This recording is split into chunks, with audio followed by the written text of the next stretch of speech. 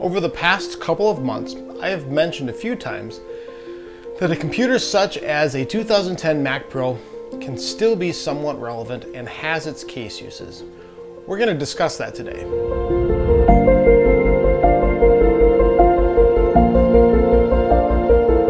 Okay, why are we even discussing this? How can I make the statement that a 2010 Mac Pro can even be somewhat relevant? Well, here's the thing is when you spend the kind of money on an Apple product that they do cost, you want to be able to get your use out of them as long as possible and hope, and some people are really deluded in believing that they really are the greatest thing since sliced bread, um, that these things are going to work and they're going to work well and they're going to work a long time. Back when I bought this thing, I want to say I spent somewhere between eight and ten thousand dollars on it. Why? Well, I had upgraded the um, storage, and as you know, Apple charges substantially more than retail for equivalent storage.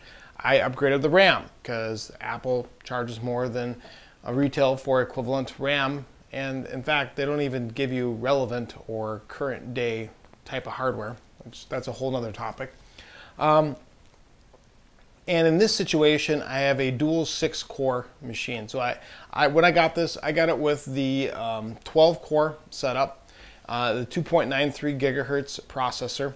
Um, and at the time, for what I was using for, it seemed blazing fast. And you know, really what gives Apple um, their I don't want to say credibility, but the reputation is how easy it is to use their software, their OS.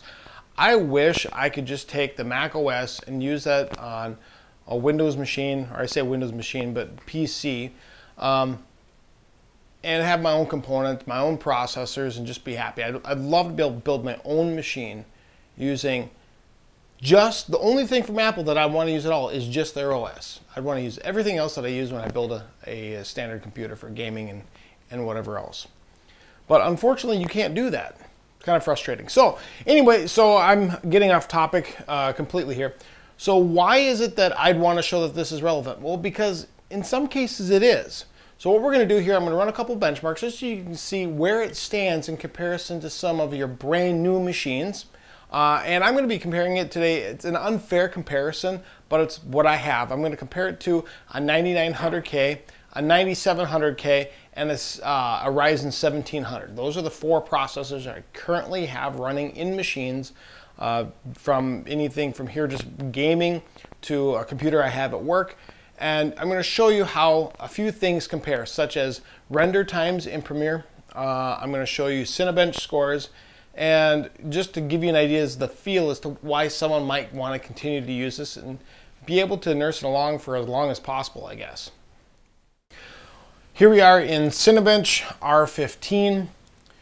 Um, you can see the last time I ran it, I got a score of 1379, which is okay. I mean, if you consider the fact that this is a, um, was it now, a nine-year-old machine almost, um, it works. I mean, this would be a score similar to what you would get on, let's say, a 7700K, you know, a four uh, core, eight thread. Yes, this is a 12 core, 24 thread uh, Intel Xeon X5670. Uh, they call it the Gulfstream processor. You can see that right here. Um, it's at 2.93 gigahertz. I've got this running in OS Mojave right now. You can see this right now here. And not that it affects the Cinebench score, but you do know that I also recently upgraded the um, processor, or I'm sorry, not the processor, but the GPU in this machine. Um, I'm going to go ahead and run this here. Why is this something that's kind of important to me? Well, I spent a lot of money on it for once, like I've already mentioned. Two, I have all of my photos on here for, man, I don't know, going back to 2000, 2001 um, slightly before my oldest daughter was born. Um, I used to do music recording and editing slightly. Uh, I'd use it for playing some games such as Star Wars, uh, what was called the uh, Knights of the Old Republic, I believe it was, KOTOR. Um, I'd use it for browsing, and really that's what a Mac is, is for browsing and video editing and music editing, that kind of stuff. Obviously, I don't do it professionally, um, but it still is somewhat relevant. As you can see, I got a score of 1379 again. Um, I mean, it is what it is. And so I'm going to go ahead and I'm going to quit out of this, and we're going to go into um,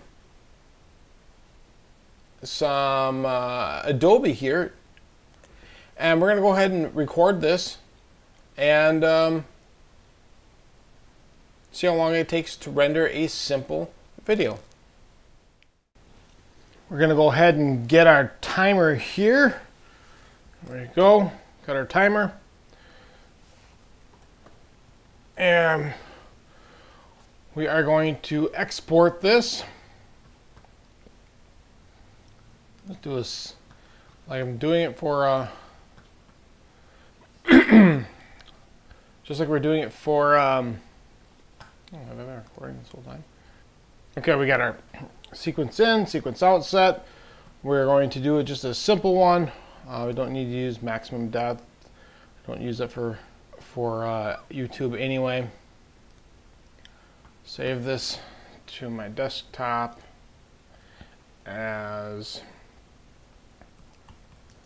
project. All right. So we're going to hit start and export at the same time. Three, two, one. And we will come back once this is uh, finished up and see what we have for a total amount of time for the render project. Okay, here we are winding down and all done. So it took 29 minutes 18 seconds. So we're going to call it 29 minutes 19 seconds due to the uh, 0.93 on there. Uh, that's to render this um, simple video that I posted a couple of weeks ago.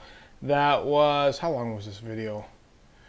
Uh, 9 minutes and 23 seconds approximately, it looks like. So, um, not great, not horrible. But uh, now what I'm going to do is I'm going to post some uh, test scores for other rigs, as well as Blender results, uh, Cinebench results, and then we will wrap up the video.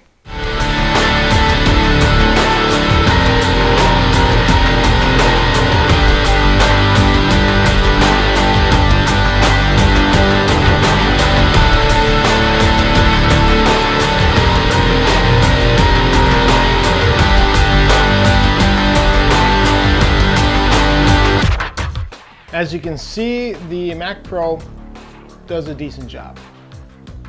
No, it doesn't uh, fully compete with the numbers of the 9900K or the 9700K for that matter, or really even the 1700. However, uh, it still does fine. I mean, yes, the 9900K cuts about everything it does in half time-wise compared to the um, Mac Pro uh, the 2010 Mac Pro, that is.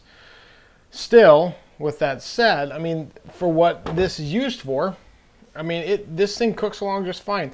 Everything's snappy. A lot of that's got to do with the Mac OS environment.